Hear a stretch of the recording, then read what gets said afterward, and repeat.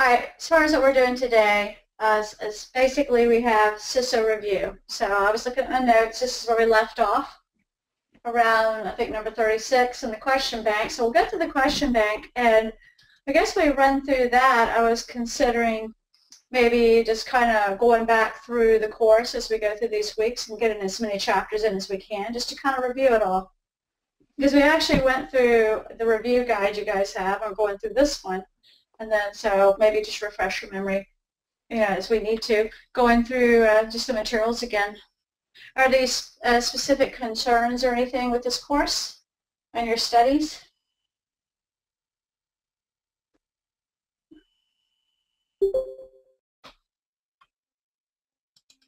Okay. All right. So I guess we'll go ahead and get started. Any questions before we begin?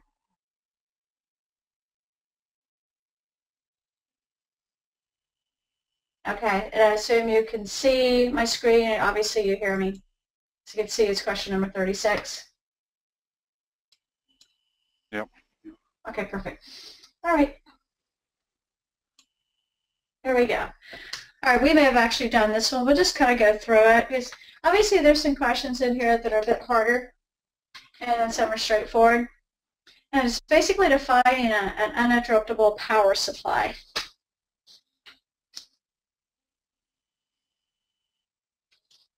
Oh, let me tell you how you can do this. You can obviously speak up, but then in, in, in larger groups, it, sometimes it's just nicer if you do the chat window and it comes to like telling me ABCD. Obviously, again, you can say what you want to say, but as far as I like to look at the chat window, you can send it to everyone or you can send it just to me. And that way I at least get a gauge that you've had a chance to kind of read it and digest it. Okay. Shove my windows around there. Yeah, and it's a pretty, very valuable thing to have, UPS. Essentially a big battery. And if the you know, primary power goes, it kick, kicks in. So we can shut down our systems gracefully and not just suddenly have a database corrupted because it suddenly would have power yanked from it. Okay, RAID 10.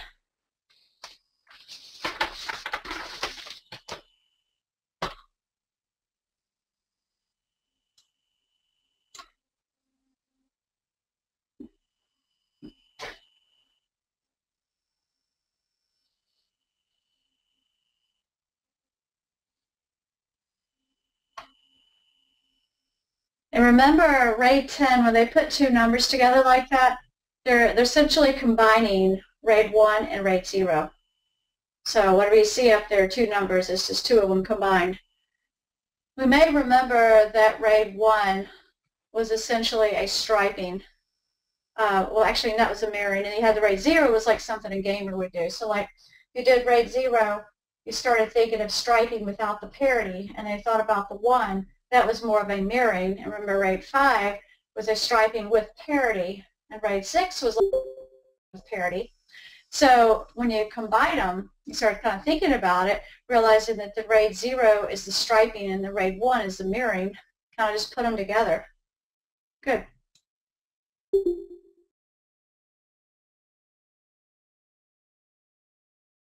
So looking at computer-owned Company-owned computers, which policy spells out their responsibilities and restrictions.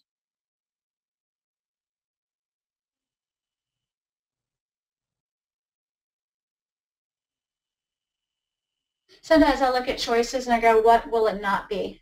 And take out the not options. And that gets me down to what it sounds more like. It doesn't sound like log management.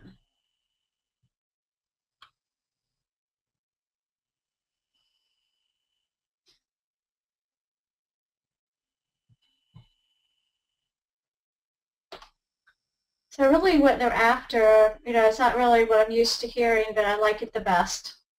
Because uh, it didn't sound like incident management, definitely wasn't log management. They didn't really spell out that they were going to monitor them and how that goes about. It's just, I guess, what they're allowed to do, what your you know, responsibilities to protect the information. And when you think about maybe you're not allowed, maybe you're in the military environment and you're not allowed to have thumb drives, that could be a restriction.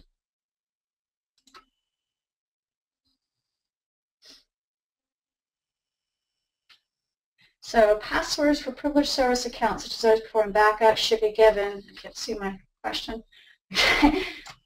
given to the following.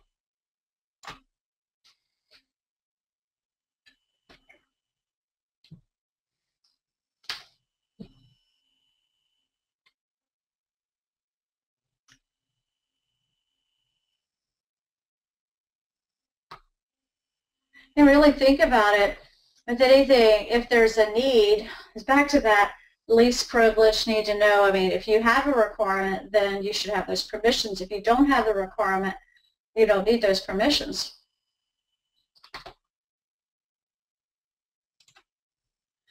Methods below would be used to distribute security information that users and managers require to do their job.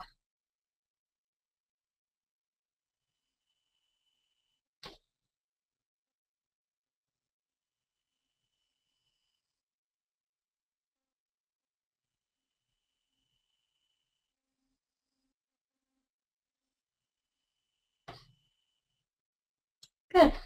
Security awareness and training program, which seems like every security course I've seen seems to bring that one up because it is not something you do one time and you stop, but you, you just kind of keep doing the training over and over again because people, you get new employees, you get people that just don't get it and they need to be reminded.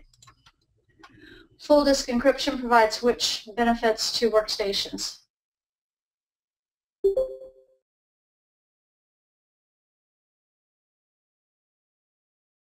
When I think about full encryption, disk encryption, I, have, I think of things like um, PGP, Pretty Good Privacy is a full disk encryption product. BitLocker is another one.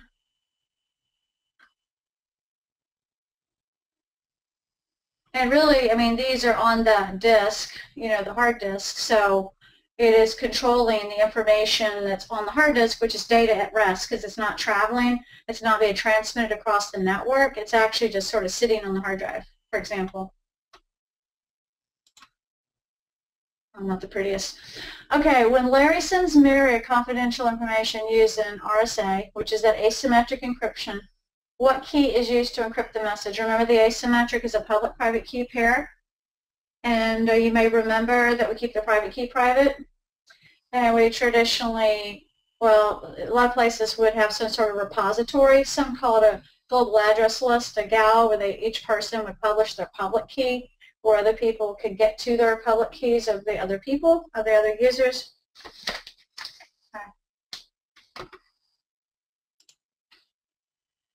So if Larry's going to send Mary the, well, they as well just say I mean, some sort of encryption, encryption message, confidential message, what is used to encrypt that message. Well, Larry will use something of hers he, he would not use her private key because he can't get to it.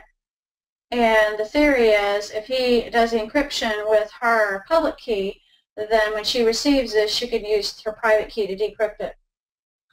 So it works out real well because in theory, if he does this, Mary's public key being used to initially encrypt it, then only Mary can decrypt it, would be the thinking.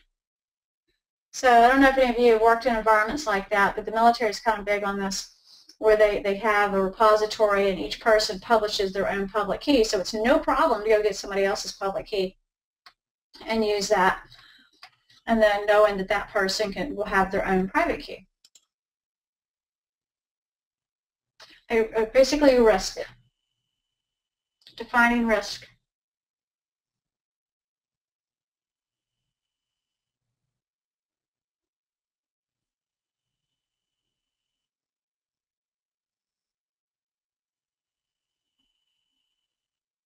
Okay? Probability that a threat will exploit this vulnerability. Mean, you may have bad guys out there, uh, these threat agents, and you may have systems that have weaknesses, vulnerabilities, but this probability or likelihood tends to be what your overall risk is when you put all that together. You know, just kind of thinking about are there are the people out there going to, the bad guys going to actually find out that I have a vulnerability and, and punch through that vulnerability and suddenly I have a higher risk.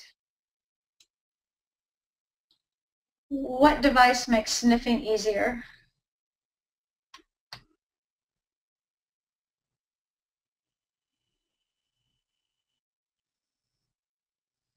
hackers are actually extremely happy with you know these devices because the sniffing was much easier. They were so displeased when uh, then the replacement came out. So effectively, these hubs, these hubs were at the physical layer of the OSI model, and anything at the lower layers are the dumber devices, of course. So the hubs were dumber than the switches. So we had hubs first, and hubs had no way, because they were a physical layer device, of learning the individual MAC addresses, you know, the unique IDs of each computer that was plugged into each port. So the hub, every time information would come in, it would just have to like forward out that information out all the ports because it didn't know where to send it. It was just sort of a constant uh, broadcast of sorts. But when we went to switches, they started being more intelligent, being a data link layer, a layer two device, where they could build a table of what device, what computers plugged into what physical port. And they could make more intelligent decisions, therefore sniffing was harder actually with the switches.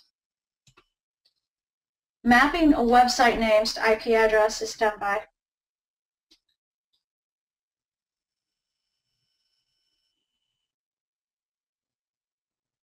And you know, it's, it's pretty nice that we can do this. We can go to you know Google Chrome or Firefox or something and just type in a friendly name, and magic, it seems to work.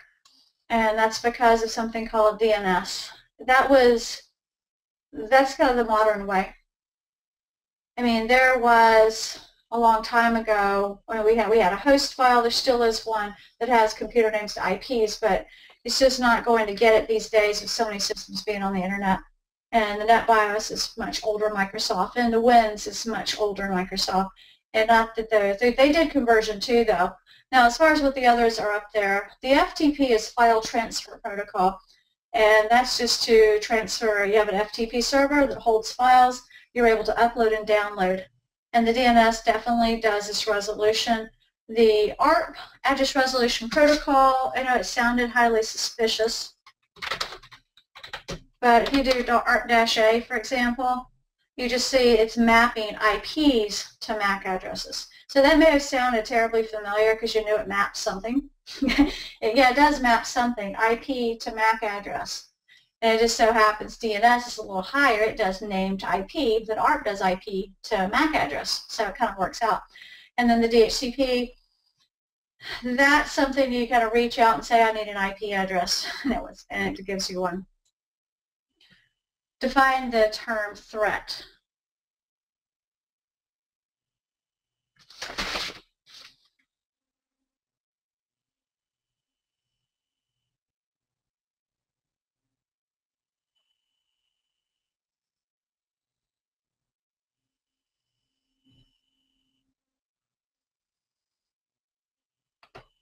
So you know, when I think of a threat, I probably think of a bad guy, or I think of something bad that person is doing and it is obviously you know, it's an activity they're doing that could be possible danger to my information if they get into it or my operations. So I mean, maybe a person that's causing it, or who knows, it, it might even be uh, a weather event, like not even a person, not even a hacker. Okay, they're looking at wireless standards that support data rates uh, the actual the number there is wrong, but you could still figure it out if you know what they're, they're doing here. Uh, because it was actually 54. So supports data rates at 54 megabits per second at the 2.4 gigahertz frequency. So in that ballpark is what we're looking at. Okay, close enough for our needs. so, because really the B standard was 11, and then G jumped up to like 54. And A was doing 54 the whole time, but it was doing 5 gigahertz, not 2.4. Most everything did the 2.4 except this A standard. The I wasn't really in the same realm. The I was just more of a security thing. We started looking at like WPA2 and AES encryption. So that's way I remember. I go in the beginning it was bad. It was only 11 megabits, and then it was good because it was faster, 54. But they were still living in the 2.4 world. Now the A standard, I'm not sure where people were using that because when I talk to people, I, I generally don't get anybody to say, "Oh, I, I use the A standard." It's just so super rare. With the OSI model, which transport layer protocol is used to guarantee the proper delivery of an application data. So you got to kind of visualize the OSI model and remember the protocols at the transport layer. And then of those, which ones are guaranteed to give you proper delivery.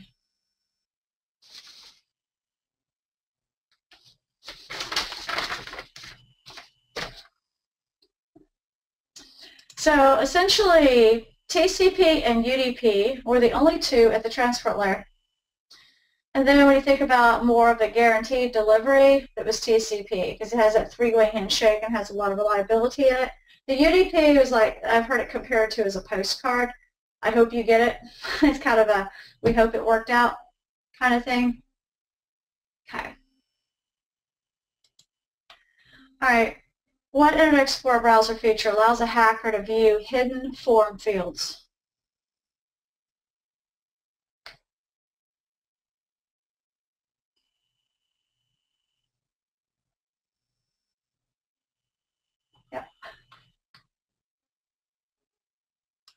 Called view source. Good. What can be used as a countermeasure dealing with rogue wireless wireless uh, SSB access point access points being added to the company network.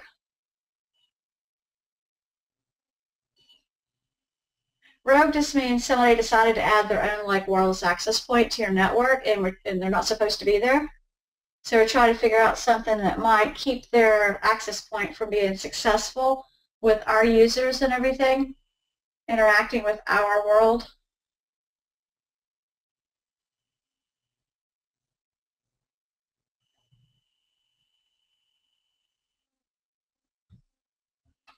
Now, the MAC address filters, that just restricts what PCs can get on a particular access point. So if somebody decides to create a new access point and not put the restrictions, then our people wouldn't be restricted on that new access point. Now, if we weren't worried about rogue devices, then I like the filtering. That's nice. I also like the disabling the SSID, because that's kind of nice, too, as far as not being seen but that won't help us with dealing with rogue access points, unfortunately. So what they're thinking is there's something called 802.1x, and it just seems like I, I did a Security Plus recently, and it was just kind of funny because I, I told him, well, 802.1x is probably not always the answer when it's secure wireless. It seems like it is because the 802.1x is a port-based authentication which you can tie into doing something called a, a radius server so you can actually authenticate the people, not just the encryption, but the authentication. So if we, we have some sort of required authentication to connect into our corporate network, and we do the 802.1x, the rogue device won't be configured to do, do what we need, to, what we require, so those people wouldn't be able to get on our network. So a lot of times 802.1x is associated with adding authentication, which makes us more secure company's mission statement should relate to its security policy in what way?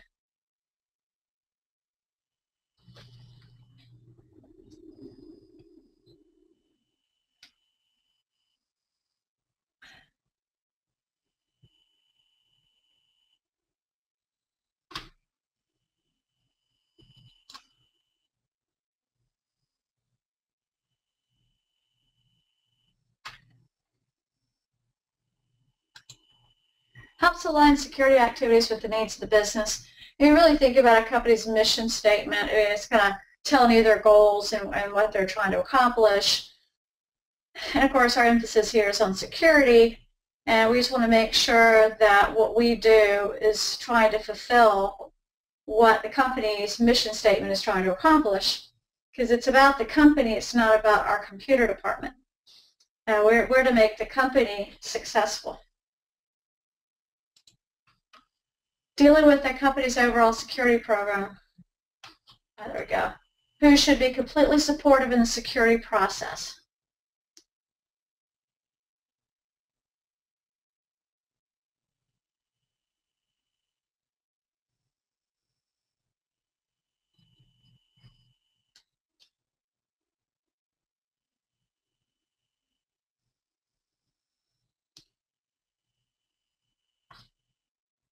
I know, they've always got us trained to mess up on this one.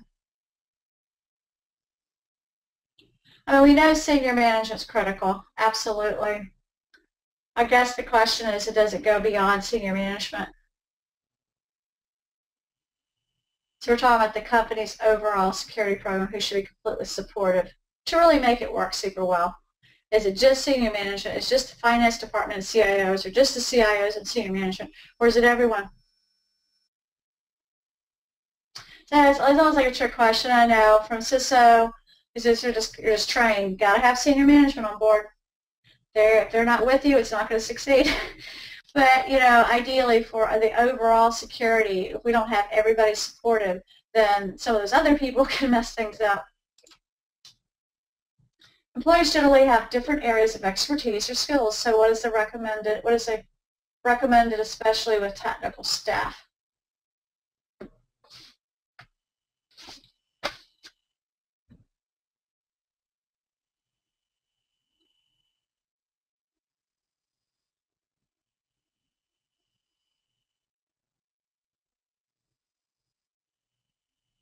Okay. Organizations should ensure employees have overlapping skills for all job, job functions. That would be really good. I think because we don't want to just have a single dependency and say, well, Bob there, the great administrator, he knows everything, and none of us have a clue, because it really would be a mess if Bob suddenly won the lottery and took off on us. So, you know, we need to make sure people know how to do some of the other functions. They may not do it as well, but at least they have some overlapping skill base. What is access creep?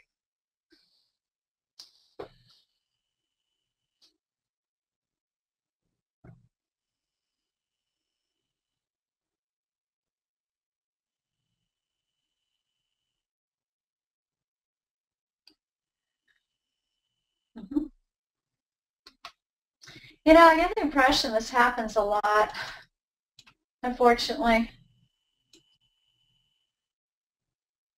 And, um, you know, the idea is you, you were put in a particular job function and you had those privileges and then they moved you to another job function or department and you gained new privileges and then maybe you got moved again and you gained new privileges.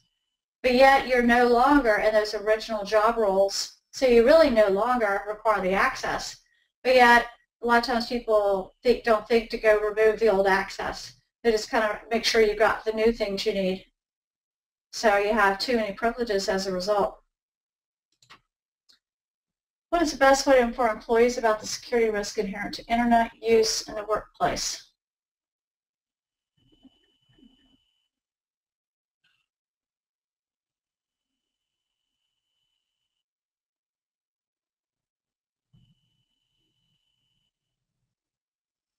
We want to inform employees about the security risk inherent to Internet use in our workplace.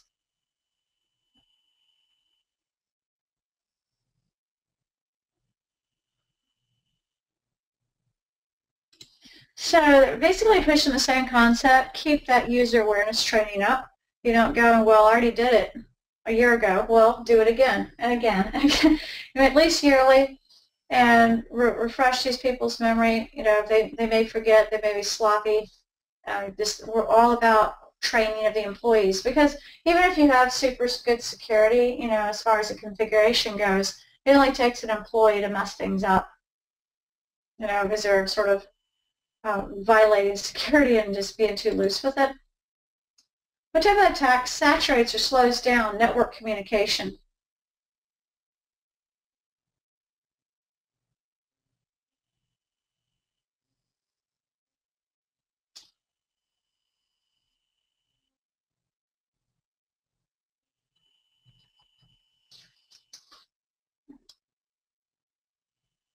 Okay, good.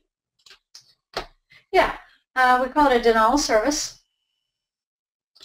And, you know, kind of the idea, just like it says, you just just doing nothing but pure meanness. I mean, you're just flooding it, you're disrupting them, you're just like sending as much traffic as you can their way. Okay. Advantages of wireless networking over wired.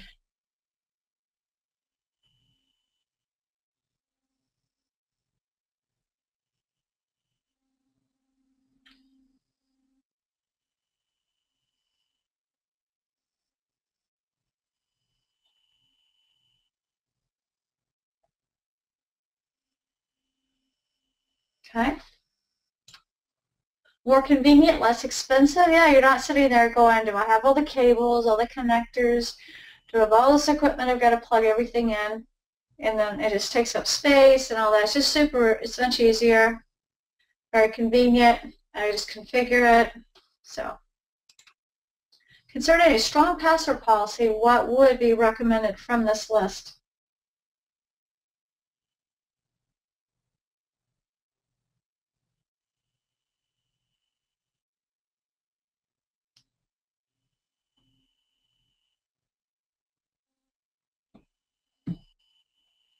Okay.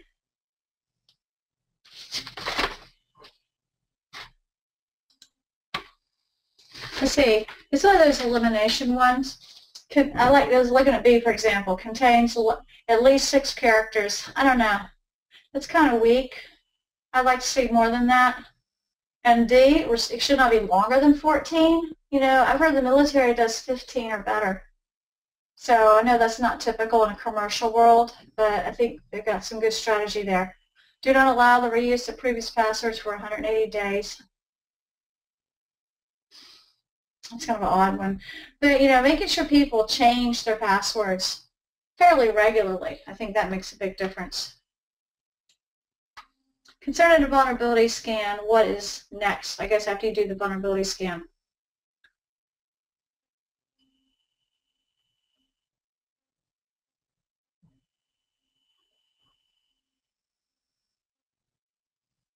Okay, so what you could imagine is you've run maybe a Retina, GFI LanGuard, Nessus, Saint vulnerability scanner. It runs, it comes back with a report. It tells you about what's bad or what's what's a little bit bad, what's really bad. I mean, it kind of rates it, gives, you, and even gives you ideas what you can do about it. And so kind of the idea you have to prioritize the findings that present the highest risk to the company because maybe it comes back and it lists a lot of little things that are wrong. But then there's some that sort of just jump out as being a, a bigger deal, and those are the ones you would do first. Reliability, define reliability with information security.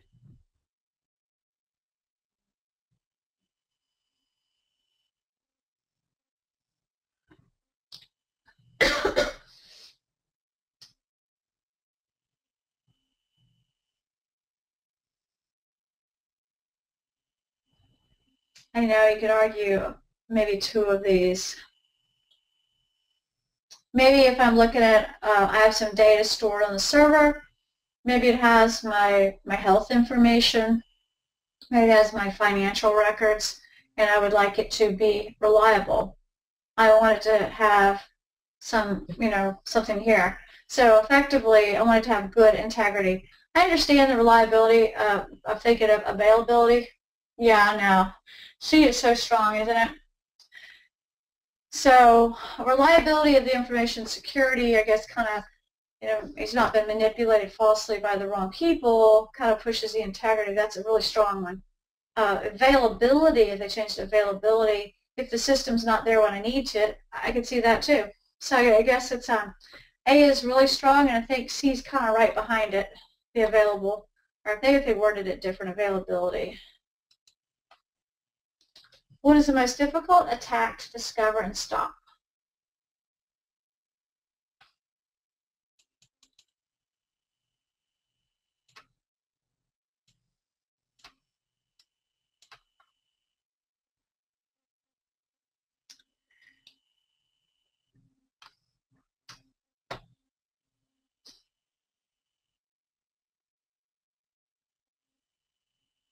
And some of these, I think, I know they say discover and stop. Sometimes I'm not so positive that they mean, some of these are kind of like partial. You can at least, maybe it's easy to discover, but not always easy to stop. But something here, I guess, just jumps out as being more difficult to discover and do something with.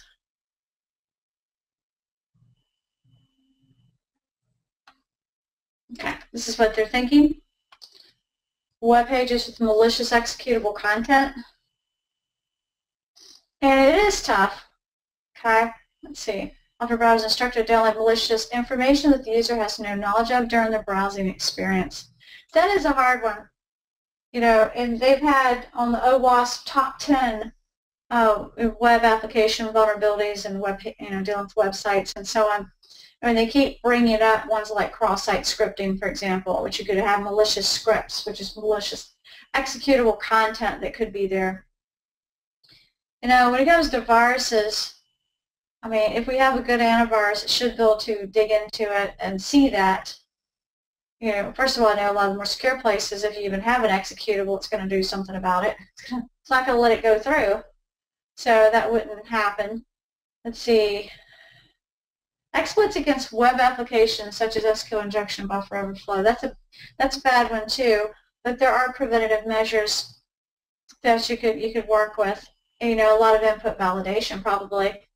Distributed denial of service attacks, maybe not as easy to stop, but definitely easy to notice. I think these, these are, the web page with malicious content, executable content is not always so discoverable. Define business impact analysis document.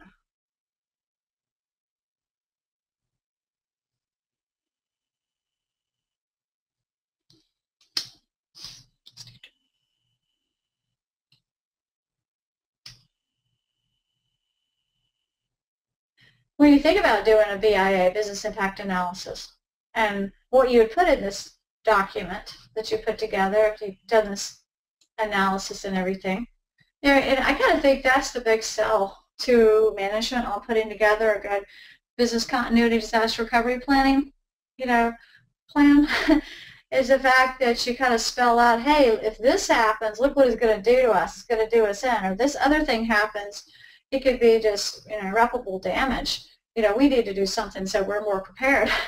so it's almost like the scare tactic in my, my thinking that convinces them to spend money to be safer and more protected against possible disruptive events.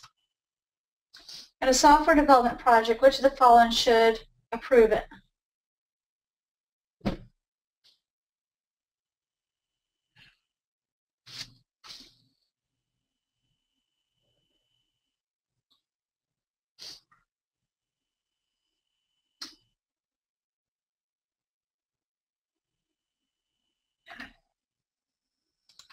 And you may have noticed in this course that there is a big push for this. Know, I you may have heard the steering committee, but you definitely heard the change control board or something similar, or change management committee of some sort. You know, the whole idea is everything has to go through an approval process. And, you know, there may be some, you know, new software being developed, some new code, um, you know, some changes. Everything needs to go through an approval process and make sure that it's okay to implement. To speed up develop, deploying patches in large environments, what do we do?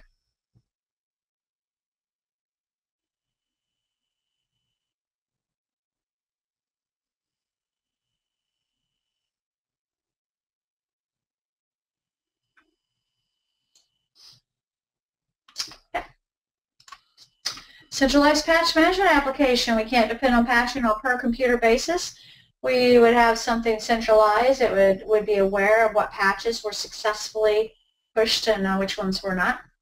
Okay. Uh, which systems did not get their proper patching. If a user loses their handheld device, what software application could protect the data on the device? So they've lost their handheld device, protect their data.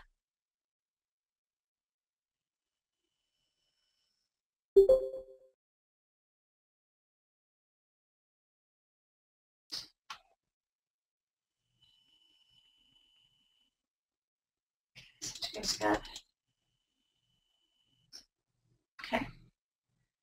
You may, your minds may have slipped into specifics that you could do to protect that device, and you may be thinking, well, I'm going to remotely wipe that device because they lost it. If I remotely wipe it, then it's all okay. Well, there's your centralized management software to the rescue. And I guess that, that's kind of the idea. We're not worried about syncing our data, and we're not the anti-malware. I mean, this should have already been on there. You know, so it's more being able to reach out and do something with that device, such as remotely wipe it. Before running a host vulnerability scan, do which of the following? In other words, before you pull out Saint or Nessus or Retina, or any of those vulnerability scan programs, before you do any of that and start involving different computers, what this must be done first.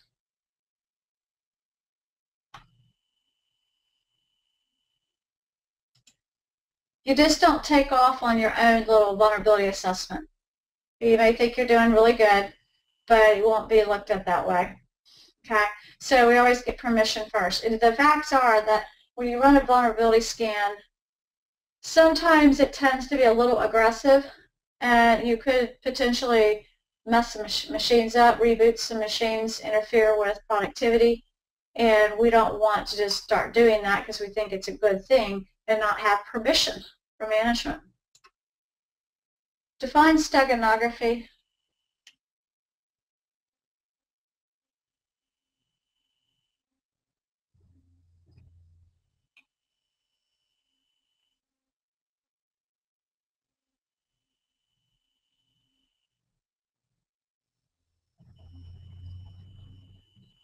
Now you may remember steganography was actually you could take a graphic or a sound file or some sort of media and hide something else within it.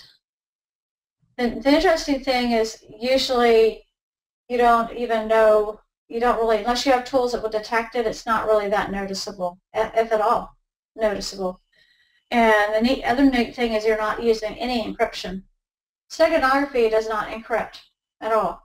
It's just simply hiding something like text a hidden message inside of a graphic, for example.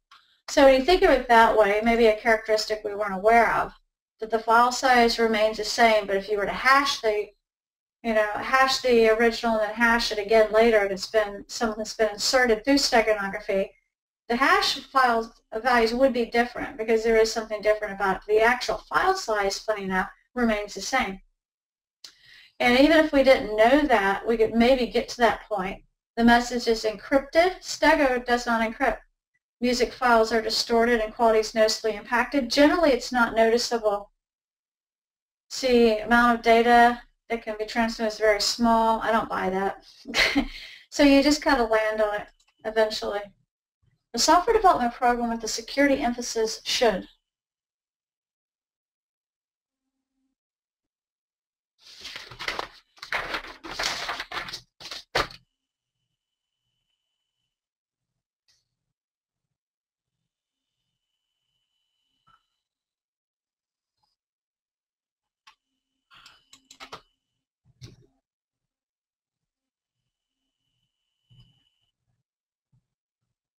So we're, we're developing a new software program and we want to think really about security.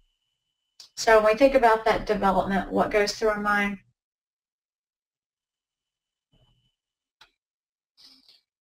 So as we go through this, we know in this, you know, in this day and age and everything, that any software we put out there, somebody's going to try to attack it.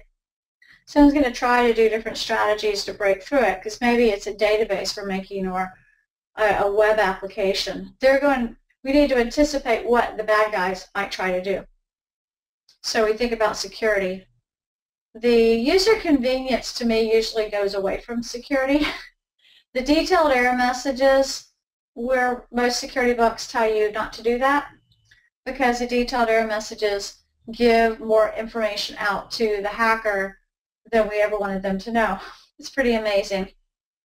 So think about what it's probably going to be hacked. People are going to try to break it and try to prepare yourself for you know prevention as much as possible from letting them succeed. Weakness in systems that could be attacked. So we look at the you know the weakness in the system that could potentially be attacked by somebody, and it has a name. This weakness.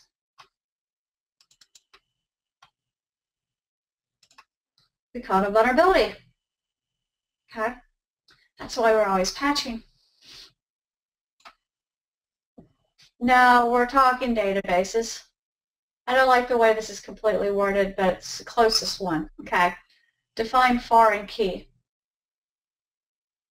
Just think about how we use a foreign key in general. What do you? What's the purpose?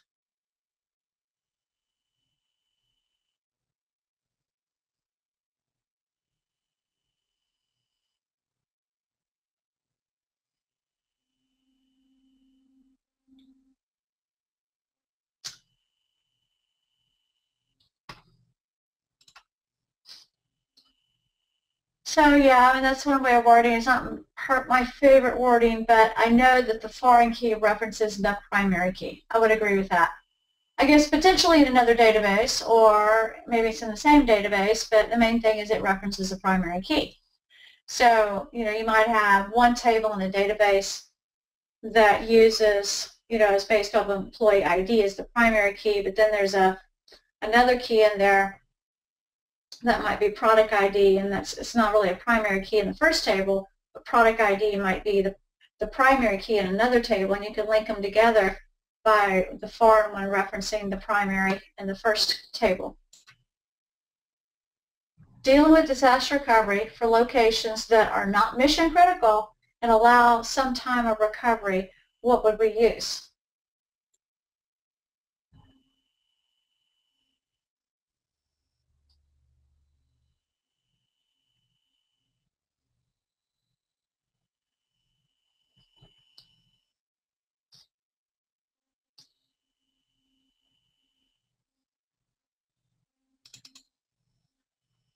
Not mission critical.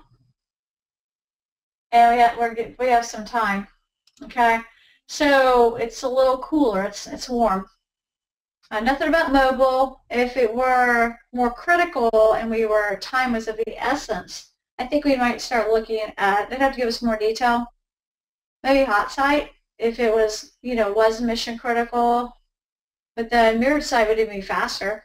But then giving you some time, though, or you have a warm site, you have a location to go to that has some peripheral equipment that it really isn't set up with computers to speak of. So it's going to take some time. This is continuity plan that steps through a simulated disaster process is.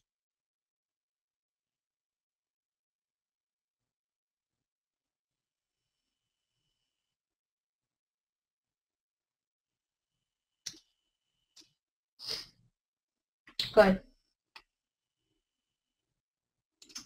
As you're stepping through a simulated disaster process, it's not any sort of desk check, and you're not parallel what sounded more like doing operations at your main location and alternate location simultaneously. In a full interruption, there would be no simulated to it in a way. I mean, you basically have just cut operations at one and, and tried to see if they will move to the other location. The tabletop walkthrough, whatever you'd like to call it, does this. Method to evaluate the security of new software.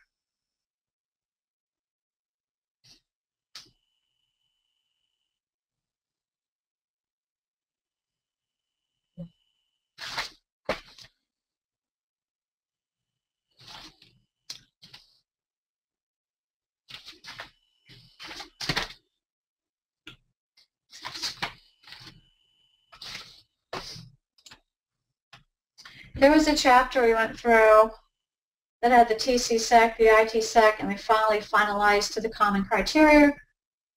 And it, they have a rating system. And if I just remind you of this, spell it right. Let's see if I do EAL ratings. You'll probably know what I'm talking about. There's common criteria. Your certified products for the common criteria portal have different products and then give them ratings, have operating systems.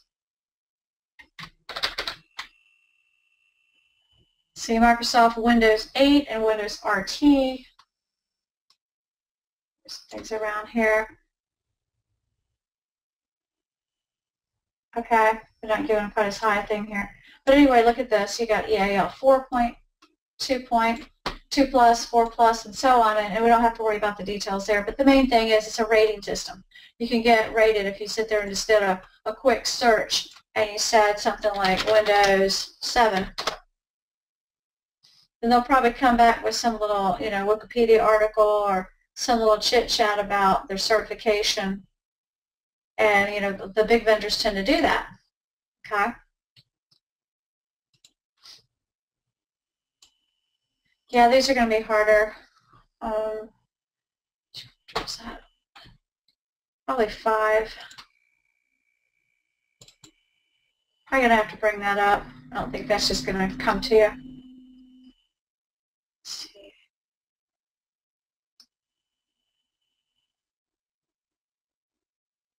Your probably favorite chapter of the whole book, huh? Let's see. Well, they're, they're going through this and you're seeing you have the TC-SEC, the IT-SEC, and then they finally land on the common criteria.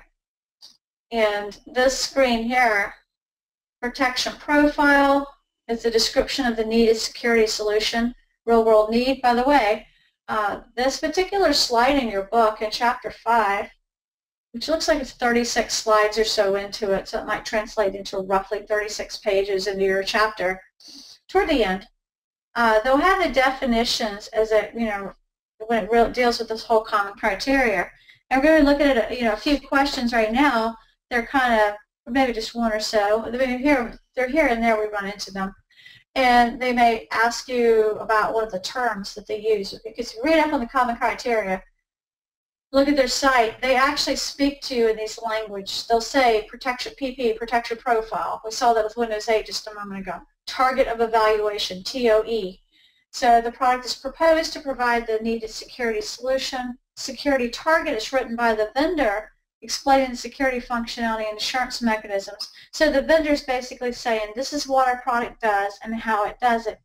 And finally, there's a rating system, uh, EAL ratings, and then they, they spell out functional and assurance levels.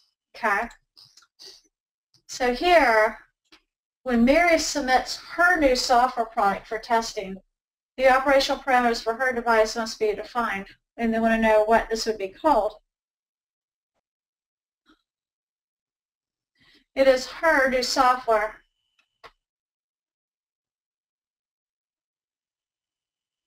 So let's look at them again. Here we go.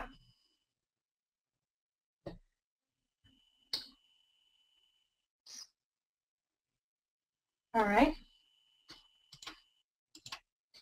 Security target. Sounds like she was the programmer, written by the person, the vendor. It explains their security functionality assurance mechanisms. This is our this is what our product does and how it does it because I'm the vendor.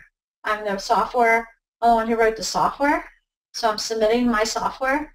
So that page in your uh, in chapter 5, this is a really good one when you're testing if you need to look anything up because you know chapter five is full of a lot of really odd things. You know the different software evaluation models, the BIBA, the Bell LaPadula, and all the different things like that. Okay. A model for system security based on confidentiality and integrity can be based on what two models? This is also chapter 5.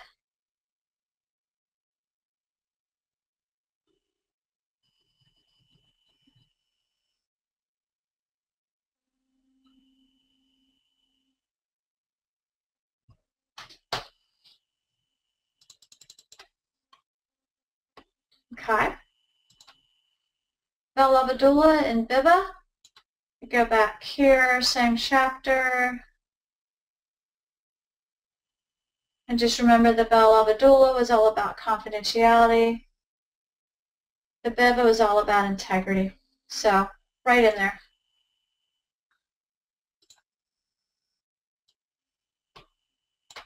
A define a procedure versus a baseline.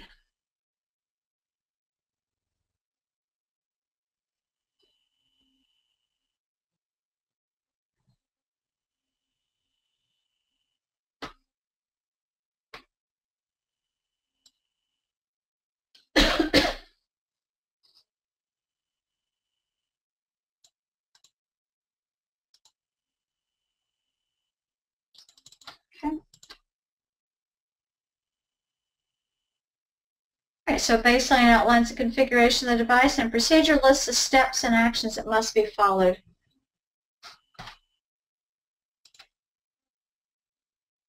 All right, to ensure better security between two parties with a, an encryption called Transport Layer Security, TLS, and concerns over using the correct public keys for one another, how can each person be sure that they do not that they do have the correct public key?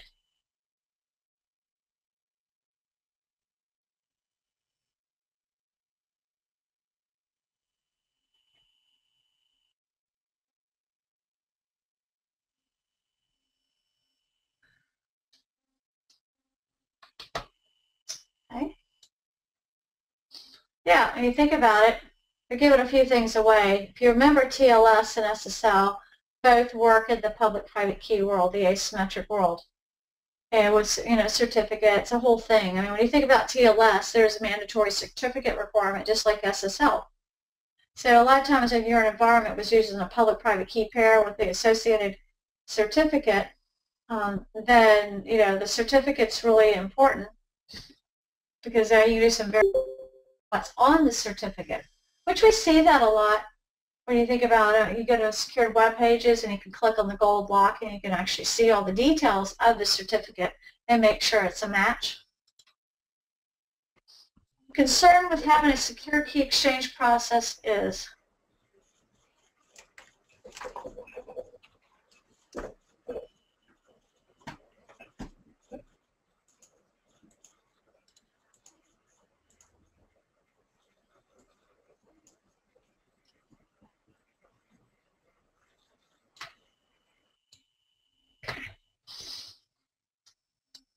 Good. So, a concern with having a secure key exchange process is, yeah, they're kind of tricking you up somewhat. I mean, you may be thinking of the defense side, and we did hear, you know, some things about getting secure key exchange with the asymmetric, but they, they did stick that word attack at the end of Diffie-Hellman, so I have a problem with that. So, you know, we're, I guess the reason we're so obsessed about our key secure key exchange process is we have concerns over man-in-the-middle type attacks, which we're trying to prevent. Okay, a security model developed to prevent the information between two competitors from being discovered is. Okay, I don't know if there's a picture on this one that chapter 5 again, security models, if you just kind of go back through that, I'll show you what they're after. There was one called Brewer and Nash Chinese Wall, which is all about fair competition. So making sure that, you know, no, the subject, that's a person, accesses objects. If, they, if you have expressed interest in uh, let's say there's two companies on that server, you express interest in the one company, then you can't get to the other company. So if you access one company's data, the competitor's data is automatically deemed off limits. So Brewer Nash is your Chinese wall.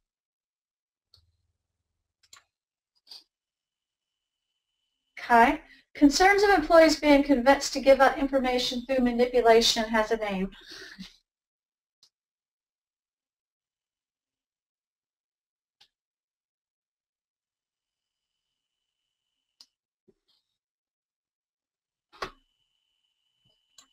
The overall name is called social engineering because they didn't spell out exactly what method they're using.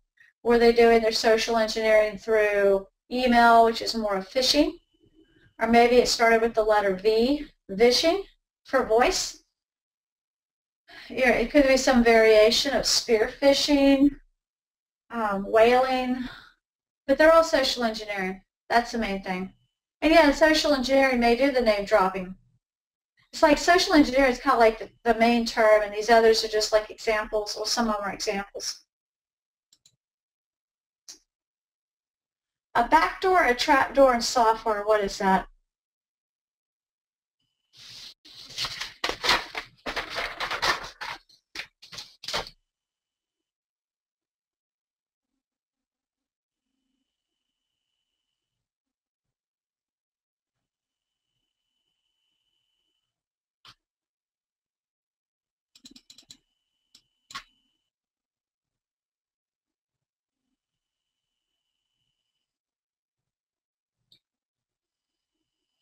Okay.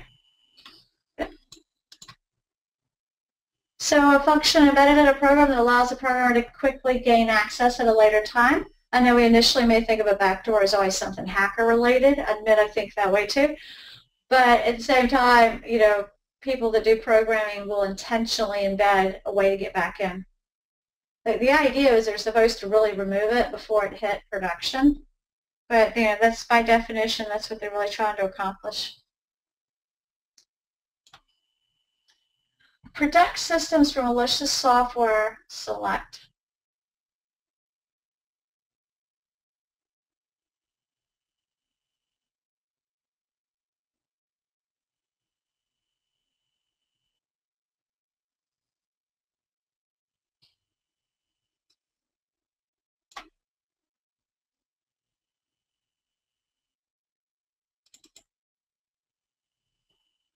You know, we, probably already learned that everything is a layered approach, you know.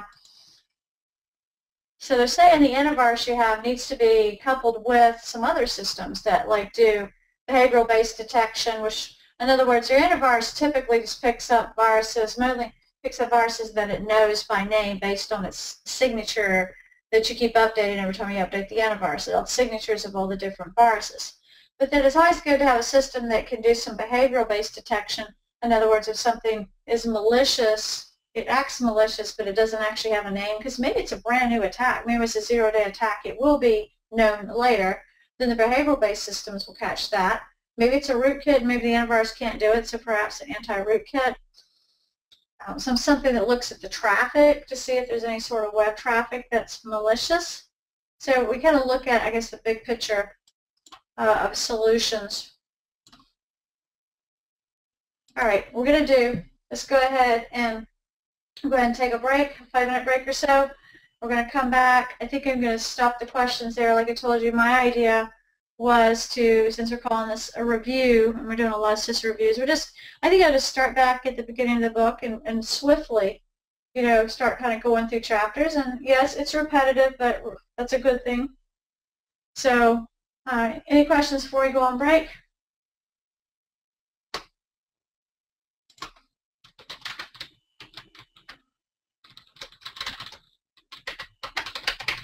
Okay. So anyway, just take like a five minute break.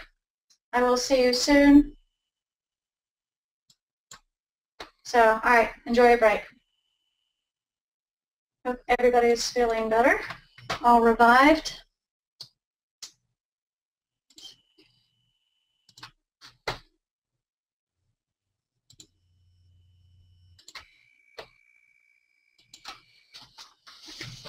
Anyway, so I uh, hope everybody's back and you can see my screen okay. What I was thinking, we would just kind of start going back through everything, making that a review. So next session we'll go through um, more questions as well as, you know, kind of continuing with this.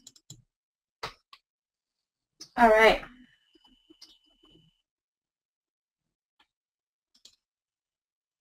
Like that. All right looking at risk management, just kind of going back through that. And hopefully these were some of the simpler chapters we were looking at. And with that, uh, actually, hit the button real quick. One second. Okay, so risk management. You know, that's really what we, we think about. I mean, we're, I think we're kind of consumed with that, you know, about risk. So we're looking at information security, and we're protecting assets. And I know those things that could harm our assets, the threats. And we think about what we can do to maybe uh, put in place, what countermeasures, what controls we can put in place to make it not so bad when we know that there are threats out there trying to break into our systems. And of course, trying to put some sort of control in place, again, to minimize this. We don't hear the word eliminate risk altogether, but we do hear we're always trying to manage our risk. I mean, the whole chapter is called risk management because it really isn't some magic method where you can just like say there are no, we've eliminated everything, there are no problems. So looking at risk definitions and so on, moving through. So you've seen this before, and I'll, I'll pick up the pace here. Essentially, you know, you kind of look at this kind of a nifty picture. Remember, safeguard is just another word for like countermeasure or control, because we do have these weaknesses. Yeah, I don't know what your favorite operating system is.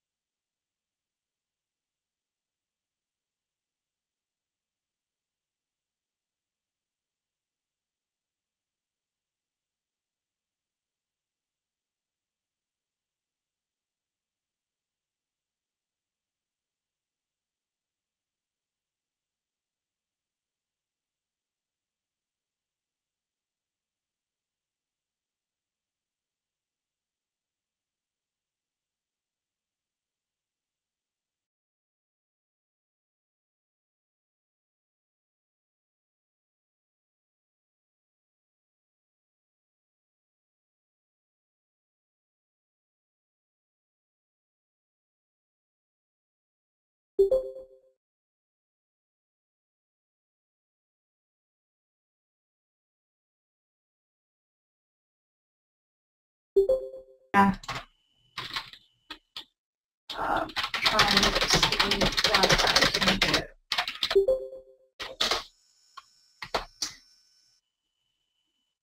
Okay.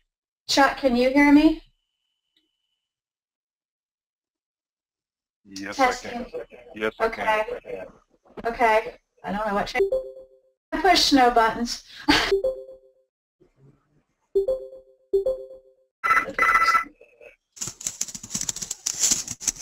Let's do that. Very strange.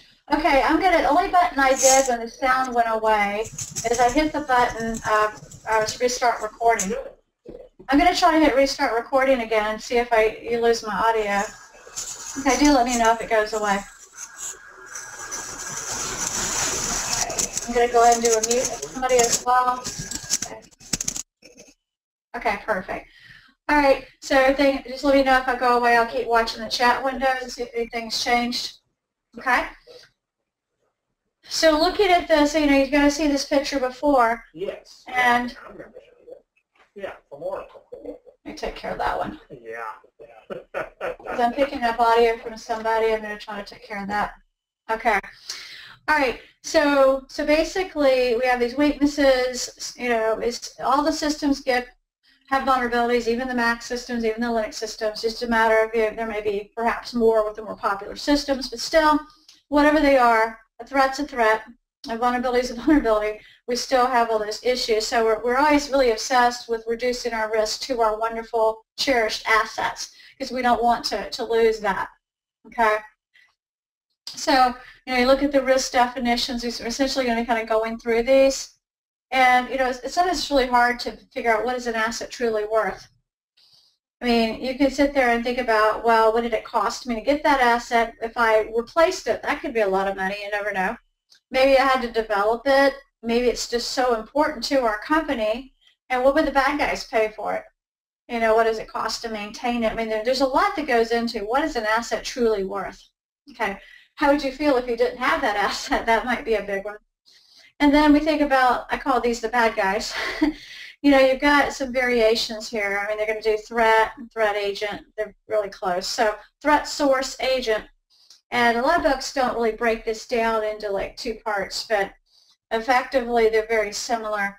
So the threat agent source is the entity that can adversely act on the asset. In other words, it could be a bad guy. It doesn't mean necessarily a person.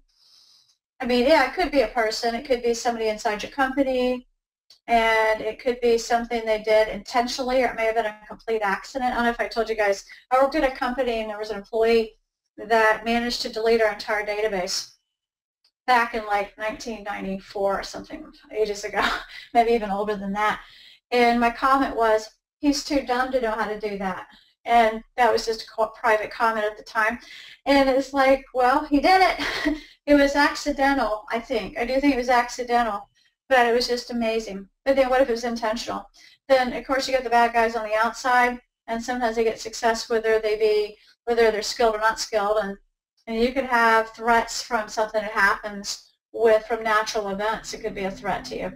And then, you know, threat agent. And then, of course, you think of maybe the threat itself being the adverse action that was performed by the threat agent, whether that be that hacker we're talking about or that software they wrote called a worm that degraded your performance, whether or maybe it's a system administrator took too many privileges. They had the ability to do something and they violated user privacy and they shouldn't have, or they somebody listened in on something they shouldn't have. So again, we think about a vulnerability. It's something that's weak. It's a weakness and that could be used against us to exploit something we value, our assets. And it may be because we don't have good secure access control. We have our procedures. What procedures? You know, maybe a lack of those, or we don't train people, or we don't patch our systems, or, you know, nobody's really paid attention to the programming code and whether it's full of bugs or not. Okay? And examples of some vulnerabilities not so obvious. I mean, I think a lot of people don't have a clue what security really is. I mean, they use the computers, they go to work, but they're really not that in tune to it. And then what about the people who have too many privileges because we're not following least privilege? Or we don't have, say, concentration responsibilities. Maybe we don't have a good separation of duties. And we don't have a good plan. We have people to, to do, you know, something happens, what do we do about it? Having a plan put together and a team and, and so on. So, you know, you can send people off for mandatory vacations. You know, they might do that in banking to see if someone, you know, basically to audit them and see if they're doing something unethical. Okay, you know, trying to embezzle money or something. So we try to put these controls in place. Sometimes we call them controls, countermeasures, safeguards. And we put these things in place. Like if I don't like viruses, I'm probably going to buy an antivirus. And that's going to hopefully reduce my risk to my computer and getting to my assets, my computers and everything. So I get, maybe I get a nice firewall. Maybe at work I'm going to use smart cards for people to authenticate with, a card and like a PIN code. Maybe I put in place some security guards to watch who comes in. You know, it's all these different controls that we can put in place or countermeasures. And then we start looking at the likelihood, basically they're called it likelihood, but effectively, okay, the frequency that a risk scenario could occur. And it might be based, like I heard somebody just recently say they were from Oklahoma, and what went through my brain was tornadoes. I don't know, just jumped in my mind. Yeah, historical events. There's a lot of tornadoes there, was what I was thinking. So maybe you, you look at it from, well, maybe the, the threat that you're concerned about happens to be tornado action and bad storms that could damage your building. And you might look at the historical events. Maybe it's a hacker and you're based on their motivation or skill, you know, and so on. And then about how about what, what's it going to do to you, your impact, magnitude, harm of, you know, magnitude of harm, exposure. So you think about the potential loss that you could receive on your asset from something bad happening you know, and you know, if you've been hacked, for example, like Target was, then you have the financial, obviously, you know, people may be afraid if they heard you've been hacked to show up and purchase things, as I was. I stayed away for a while, and maybe others did too. Reputation, maybe we don't have as much faith in a company that has been hacked and it gets out in the open, you know, and so on. So, we might just flee and go to another company.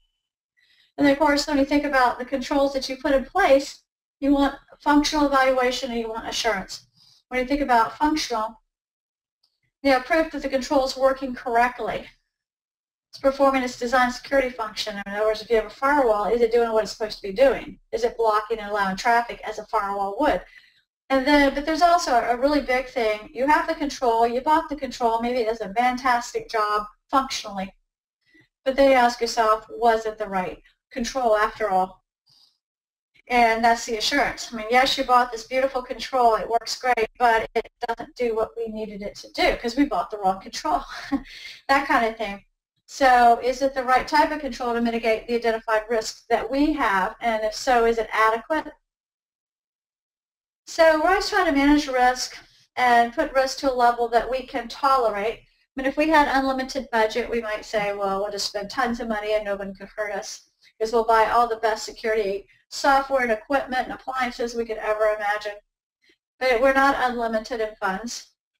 For the most people, that's true. We're not, most people don't have unlimited funds. So we have to reduce the risk to something we can live with based on, I guess, how much money we have and people and so on. Remember, risk cannot be eliminated, but it must be managed. So we can look at doing a risk assessment and we have to first identify what we value. These are our assets. Then we have to figure out how much they're worth, the value. And then we identify these assets, what vulnerabilities and what the weaknesses they could have vulnerabilities, what threats, what bad guys, you know, bad things that could harm them. Then we do some calculations and we think we try to do a lot of estimation of what we could possibly lose if certain things were to happen and and think about likelihood that these, you know, these pretend events could happen, and I try to come up with something we can do about it. So we do want to have a risk response. We don't want it just simply to happen and no one have a clue what to do. So we think through, hopefully ahead of time, if this were to happen, is there something we could do to make this not hurt us? You know, what about malware? What about worms? maybe there's something, you know, when we determine the best action to take in response to identified risk, we may say, well, have an antivirus in place.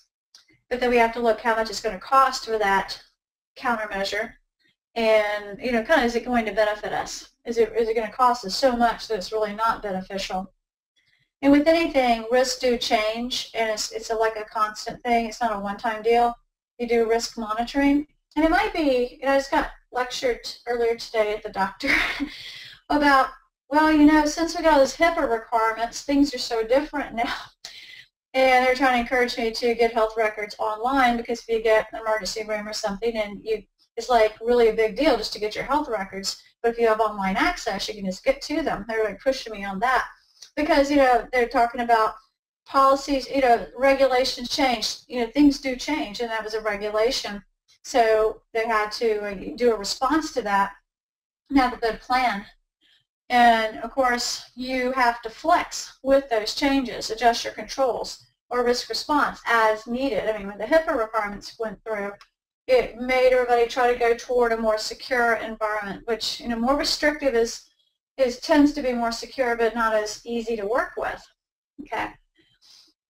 So you, you don't want to ignore the risk anything at, at all for sure. You want to be able to make sure you're dealing with it. There's something also called risk appetite the level of risk the organization is willing to accept. And that I think that's kind of back to, you know, how much money you have and what you, you know, you have a risk level that you are taking on and deciding how much money you're going to spend to deal with these, these problems. Now, risk assessment, we do definitely need to go through a risk assessment and determine the risk level for our organization. And we got to think outside of the IT world. I mean, I think maybe a lot of us here are computer people. So we're kind of thinking from the perspective of IT, but realize it's also the business. The business is the main entity here, and we're, IT was brought into it to make the business run more effectively. And we're, the whole idea is to, you know, make sure the business succeeds to the best of our ability based on what we do, and we want to do a good job there. But it is about the business. And your risk level when you do risk assessment will change based on different time periods. I mean, it's a point-in-time evaluation, of course. So you got to just ask yourself, you think about, when you do a risk assessment, it's not like you're necessarily evaluating the entire company and all their locations. There may be a restricted scope that you work with. And of course, we, we'd spell out the different types of assets. What are the threats? What are the vulnerabilities, the likelihood, the impact, and then put together a report that people will look through and try to prioritize of what's most critical to what's least critical. Now, you know, we do a risk assessment. Sometimes it is a hard sell because we're trying to predict the future. We really are. You know, it's, it's tough. So in Texas, I guess you guys have tornadoes. In some areas you have hurricanes and different things. But yet, I bet you have seasons that are pretty good and seasons that are really bad, just like in Florida. So sometimes it's really hard to predict the future, you know, what, what's going to come your way or our way. So there's there's a lot to look at that. You know, a lot to take in, and you know, you gather information from many sources, and this quantifying qualitative items. I mean, there's some things that are qualitative that you can't put hard numbers on, but yet they're trying to kind of put some sort of figures on those to the best of our ability. But generally, quantitative quantity is is numeric. Remember, it's some sort of usually it's money. If you really want to get down to it, it's usually money. Okay, and the qualitative is usually more of a, uh, maybe you've done a survey before and it had like a low, medium, high, or scale, and you had some sort of rating system, and that would be qualitative because there are some things you just simply can't put hard numbers on. Okay, there's no financial to put in there. And remember, uh, that's what it's all about. Quantitative is numeric values, and uh, that's a lot of times, I think, the, the big selling point when you tell a business, based on your business impact analysis, how much money they're going to lose they don't do anything about this particular threat. Uh, you're talking quantitative. But then, you know, qualitative could be opinion-based. You may have a rating system and you may make up these different scenarios and get people to give you their comments, anonymously or not, on what they think. Okay? So remember this, single, the, um, the quantitative, we have some formulas. Me look ahead. You're going to kind of break them out over a lot of time. But effectively, with this, we have the, the most simplistic formula is a single loss expectancy. And that's where you effectively look at your asset value and you think of what's going to, to harm it. Let's see. Let's see, I'd like to do it a different way.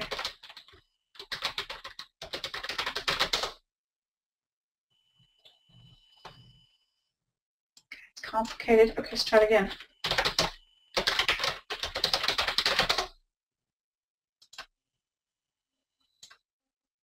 Are you guys still there? Can you hear me? Yes, I can. Yeah. It's just, it's really weird how that web page isn't coming up. Single loss expectancy.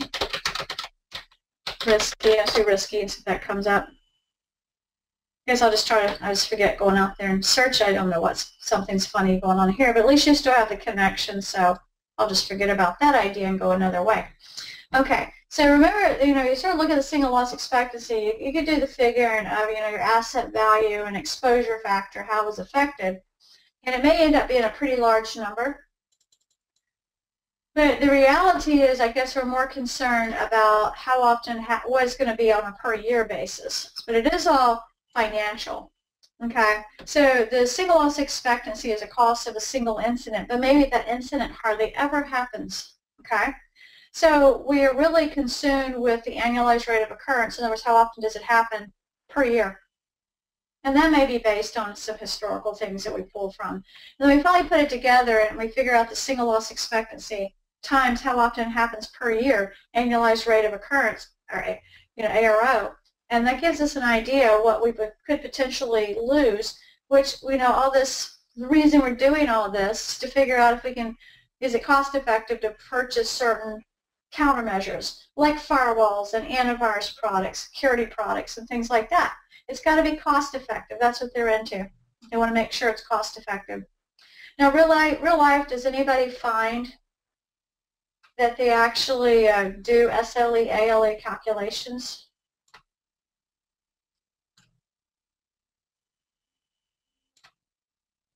See, I'm just curious. Does anybody actually find in your workplace you do uh, SLE or ALE, annualized loss expectancy type calculations to figure out whether a countermeasure is actually cost effective?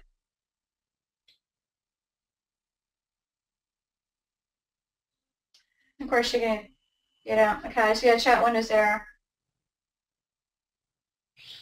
I find what people are running to, I mean, all the academic books, lots of them, well beyond Mile2, push this very same thing, that this is a good idea.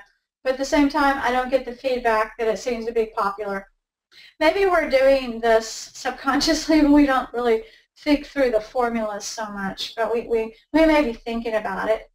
So anyway, but that, that's the intention anyway, is to do some calculations to figure whether it's cost effective. Okay. So, okay. So we're just trying, how much money can we spend on this and stay, you know, and plus you got to stay on a security budget, we know that. Remember the qualitative, there's no really hard numbers, so you get people together, you can come up with like this, what if this happens or what if that happens, and get your people that are in the know to say, kind of work through those and kind of rank them and, and see what you come up with and then try to figure out countermeasures from that, but there's no actual numbers per se. You can even do this kind of an anonymous way, it's called Delphi. That way no one's pressured to agree, like you need to agree with me on this or something. There's no intimidation, so that's a good way to go. So really, you know, this qualitative analysis, it is it really kind of pushes different methods of accomplishing this. You could have questionnaires, workshops, interviews, observe, you know, things. I mean, there's just a lot of ways. Okay?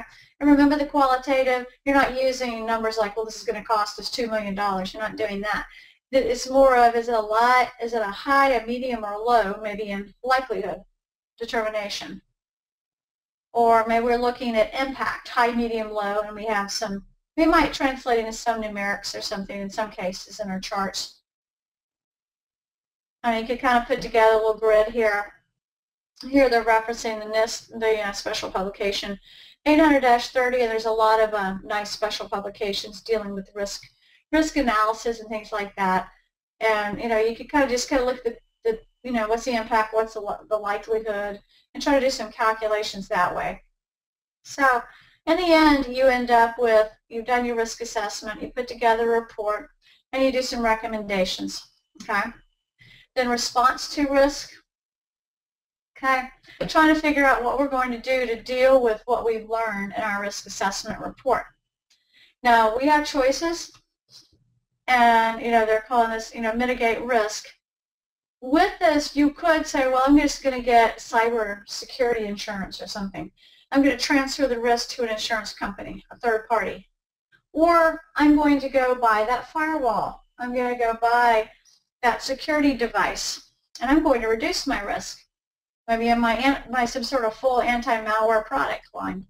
Or maybe I looked into it, and what it would cost me to buy the countermeasure is far more expensive than what I anticipate I could lose if this risk is realized. So I'll just live with it. I'll accept the risk. It's not really irresponsible if you've looked into it. Now to ignore the risk, which is not on a screen, that would be sloppy. That would be, well, if I don't see it, it doesn't exist, and I just will put my head in the sand and pretend it doesn't exist. That's ridiculous. So with this, uh, you, if you're going to accept the risk, you've looked at it and said it's just not cost effective. Avoid the risk. Well, maybe you've decided uh, wireless is not is not acceptable. You can't live with it. If you came to that conclusion, you could cease that activity that poses that unacceptable level of risk. So again, transfer it to an insurance company, put a control in place, which I usually think of that as mitigating, and then accepting or accepting the risk is not cost effective, so I'm going to live with what I have. And, or avoid the risk and simply whatever I consider risky, such as we'll say wireless, don't do it anymore. So, you know, we have to kind of put this together and realize we'll never completely eliminate the risk. And there will be something left over called residual risk. Ensure the residual risk is less than or equal to the acceptable risk. We've got kind of like a conceptual formula, total risk minus your controls you put in place. So you think about your big risks that you have, then you put your countermeasures in place. You decide to get your firewall, your intrusion prevention system, and all these things in place. What, whatever risk you still have is called residual. Okay? So their big theory here is that it should always be cost effective. I mean, I'm not sure every company believes that. Uh, uh, companies probably believe that, I would think, but perhaps if we're talking about national security, it may not be a matter of cost. It may be a thinking of, well, you can't put a price on that. We must protect it. You know, that may be that mindset. But for the you know, perspective of testing on these type topics, they're not usually thinking from the military mindset, I don't believe. It seems more like a pure financial. Okay. So if the service were 3000 a countermeasure that costs 4000 wouldn't be used. That's, that's the thinking. Okay. And realize that when you think about countermeasures, it is simple enough to go, well, that countermeasure only costs this much to purchase. But then, oh gosh, there's maintenance fees, and there's people have to learn, you know, man hours to maintain. Like I just bought a graphics program. It was only $50, but gosh, I've got to learn it. So it's going to take a while to get used to it. Negative effects on the production environment. It could slow things down. You know, something we do is now super secure, but it's slowing things down. So it does kind of add to those costs. Mm-hmm. Okay. And with risk monitoring, and we start talking about, you know, SDLC can stand for a couple different things. Software, system development lifecycle. I mean, we should think about risk throughout any sort of process that we go through and any sort of changes we make and so on. And we need to adjust and realize it's a it's a not a static environment that things are changing. Absolutely.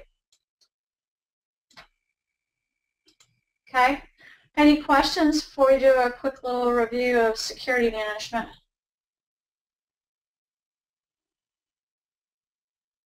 Okay, are you guys doing okay? You can use the chat window or speak up either one. It's okay, so make sure you're still there. So quiet. Yeah, I just figured this would be probably a neat review, and we'll, of course, next time with you, we'll keep continuing those questions, but you know, this is probably just a good way to go back through this and refresh your memory. See if I can get through all this quickly. So security management is the second chapter. And we know that the security is very, very important. Security protection against danger, damage, loss, or crime. And, you know, people have different perceptions of what is secure. And you could talk to, you know, different types of people. And they may have a complete different mindset on how things are. Remember the core of security, CIA, confidentiality, integrity, availability. And with that, you know, you want to keep things confidential. You don't want people to see certain information because it's private. And you probably encrypt it to protect it as well as permissions. And then the integrity, you know, we want to make sure that the information is accurate. And with that, we have, you know, hashing algorithms to verify if something has been manipulated. And availability is critical too. We want the systems to be up and functional. Okay. So, you know, different businesses have different requirements. It's absolutely true. You know, as I said, in the military environment, they're, they're kind of on the strict side. but then some environments may be a, a, good bit looser. You know, needs to go along with what the business is you know, trying to, to do. They're talking about setting up a, a security program. I mean, yes, you do need senior management support, absolutely, because they're, they're a driving force. They have the money they have the authority. It kind of goes on and on. And there are actually a lot of standards out there to get some uh, reference to some guidance from. There's an ISO 27002. It's a security framework, information technology, security techniques. And of course, um, kind of moving on from that. So we need a security program. And, and maybe years ago we weren't thinking about it, but nowadays we really do. Okay and it needs to be, you know, sometimes we're forced into it, and I think in a way that's nice for certain companies. I mean, I'm kind of somewhat glad that there, in my opinion, only that HIPAA came out, because at least it's kind of forcing you know, the medical side to protect our records better than maybe they would have chosen to otherwise if it was given as choice. But, you know, because it's an easy way out just to simply say, well, I'm not going to spend the money, we'll take our chances, but that is sensitive information here. So we've got to have a security, uh, you know, foundation, administrative, technical, and physical. We'll see to go through. Um, they call this the planning horizon. And with this, as you look through this, I mean, you may have your day-to-day activities that your are your tasks that you do that might be your so-called operational goals just to get through the day. but then you may have goals that are a little bit further out, midterm. And you might have goals in the very end or ultimate goal that we are doing operational tactical to get toward. And here they're suggesting that maybe our ultimate goal, strategic, was a full security program. But maybe along the way, we did a tactical. We carried out risk analysis on the company. And daily, we did operational, keeping the production environment up and running. Maybe that was hard enough to, to do. So strategic's the long term, and then, you know, operational, daily, tactical, midterm, and so on. And, you know, in management, they may have a kind of an interesting perspective. I mean, they expect it to all work and simple. They may assume that security is actually built into it and that you bought the product. What else do you need to do? I got you a firewall. What's your problem? You know, no. yes, we have a firewall. Yes, we have an intrusion prevention system, but maybe it's not fine-tuned yet. Maybe it's not configured right. Now, we want the business to succeed, and, and maybe we're security obsessed, and we don't want to do anything that interferes with functionality, though. Security should not get in the way of productivity. We, we want the security, but if we've gotten so strict that they can't get anything done, we probably did, didn't do a good job there. Okay, components of enterprise security. I mean, with anything, I mean, there may be some standards and such we have to follow, and uh, there may be some compliance and things like that. Kind of move it on. Here's your main controls as a refresher. Hopefully this is a good refresher for you. Administrative, technical, and physical controls. Now, if we double check, I will kind of go in through these controls as we go through this, but when you look at this first picture, remember the computer people are probably, probably living in the technical control world. Although, you know, we do some physical as well. The physical is kind of obvious you know, things we might do to lock a door, for example, put locks on a gate. Those are physical controls. But administrative does not mean like the computer administrator. I've heard people get confused like that. Think of more of management, human resources, people-oriented. That's probably more of your administrative. So manager responsibility is necessary to protect the assets. Okay. So here you are, more details. Administrative is like, you know, higher ups, dealing with policies, procedures, standards and guidelines, which are recommendation, deal with your employee, make tests, do test and drills on certain activities, do your risk management analysis, classify your data if necessary, security awareness training. Then you think of the uh, technical, sometimes called logical controls. This is more of like, I guess when I think of a computer security administrator type, this, this feels right because we're, start, we're talking firewalls, intrusion detection, intrusion prevention systems, maybe encrypting whole hard drives, or doing uh, encryption based on the file or folder level. The protocols we choose, choosing secure shell over telnet, you know, something like that. You know, all these things we do. Uh, then the physical, those kind of just jump out. Yep, the door is locked. The window is a really strong window. Good thick walls. Couldn't kick through those, perhaps. Security guards that are armed. Vicious dogs. Fencing. I've seen some fencing at certain places. It looks like it's at least 12 feet high with barbed wire going both directions. Adequate lighting makes it safer. Locks that are pretty secure, not just your standard combination lock. Uh, maybe someone tries to break into an area and intrusion detection system detects that they tried to break in. So we're all like, you know, working on getting more and more secure. Okay. The thinking is, though, anything you develop needs to be measurable. Okay. So your security program is not really a security program if you can't measure if it's actually successful. So yeah, that's, that's kind of what they're pushing here. And regulations could change the way you do things too. So report to management, everything goes back to management. Audit and compliance reviews, yes, if you're being held by a certain standard, you could be audited. You got to have the financial to make this work. Okay. Senior management, you know, I know that one question today was harder because the, ins the instinct was to choose senior management. But I guess if you look at the big picture, we really need everybody on board when it comes to security. But absolutely, senior management is, is a big part. And they define the scope, objective, priorities, and so on. They, they give us the funding. you see them pushing, if we have an idea and they're going along with that, it tends to be more successful. They're ultimately accountable. Without management support, security efforts are doomed from the beginning. That's the rationale. Okay, We want them on board. And of course, we don't want to, as a company, be found negligent either. And with this, we want to, there's all kinds of different definitions of some of this, but I'm going to pick on due care and due diligence from a different perspective. Um, you know, you might do your due diligence. I've seen due diligence defined even another way, where you, maybe you're doing your vulnerability assessment and instead of a follow-up, maybe it's like a pre-part where you, you do your research, you do your vulnerability assessment to see if there's any uh, weaknesses that we have. And then with the, once we've done our vulnerability assessment, then we take action to do something about it. We could have exercised or due care. That would be another definition.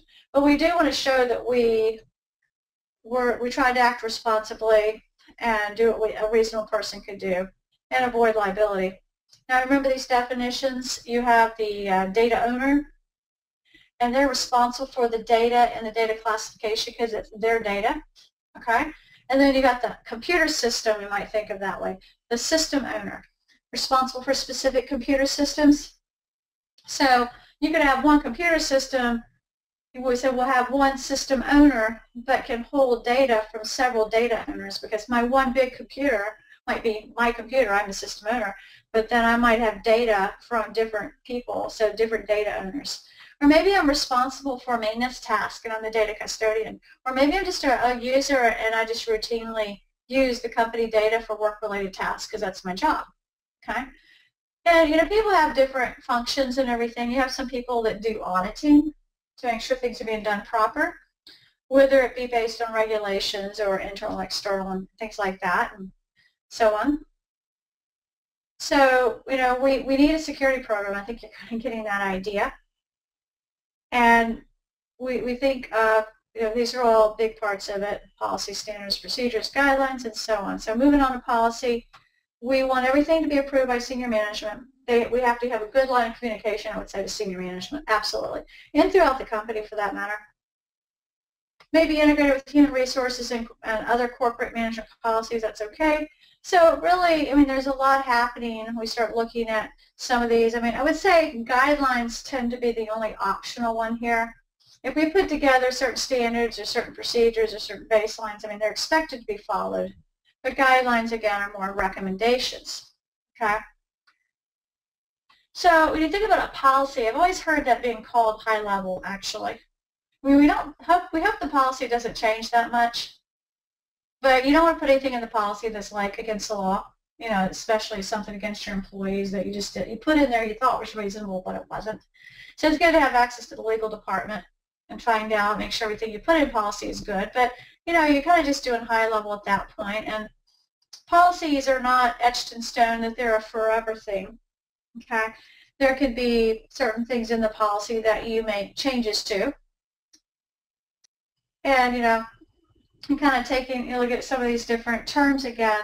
Just remember the guidelines or the optionals, and you know, you may have a baseline of how things should be set, and you may have certain standards on your system that everybody must follow this standard, and you might even have systems that will uh, software that will evaluate if they are compliant and whether they get to stay on the network. And just remember, I would say with the back to the policies though, those are the high level and the procedures are the step by step that you do. The human resources, I mean, you may be a computer person that wish you could get rid of the users, but uh, they're here at the moment, and there, there, there's people that are that take you know, HR deals with the people factor more so, and you know computers don't run themselves. We need users to do so. So, and human resources would go through a process of you know steps they go through when they hire somebody, and then maybe maintaining and watching and making sure people are doing a good job, You're watching them. And, and finally, maybe with some particulars you do when you terminate these people and perhaps you escort them out of the building and, and uh, don't let them touch a computer on their way out. So, and so the security awareness training is such a big one. Remember, weakest link is your people.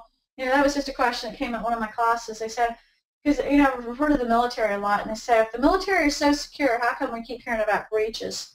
I speculate it's the employees, it's the people because that's an unpredictable thing. People can be manipulated sometimes. People can be, hey, I'll give you lots of money, you do this. You show me that top secret information, whatever it may be. So we have to have proper management, good communication, and so on. The acceptable use policy, policies are supposed to be followed. They're not just nice to look at on paper. It really is a good idea to check out people before you hire them. You don't want to hire somebody that's got Maybe perhaps you don't want to hire, so I'm not going to say it's an absolute. Maybe you don't want to hire people that have a felony record of some sort. Um, perhaps that's your you know, policy and everything, then that might be something you check into. That, you know, at least, or at least inquire before you do and makes, you know, find out what that was about. If you are going to hire them, find out if it's, you know, might be something they did very stupidly in their youth. I ran into a student like that, and he was so brilliant, but he made, made a stupid decision when he was young, and had to go to jail for a long time. And, you know, some companies aren't going to hire him flat out. This pre-employment test, they're going to check him out and go, this guy's got a felony. He is not coming here. We don't care how smart he is. And he did this when he was, you know, young. And something kind of dumb there.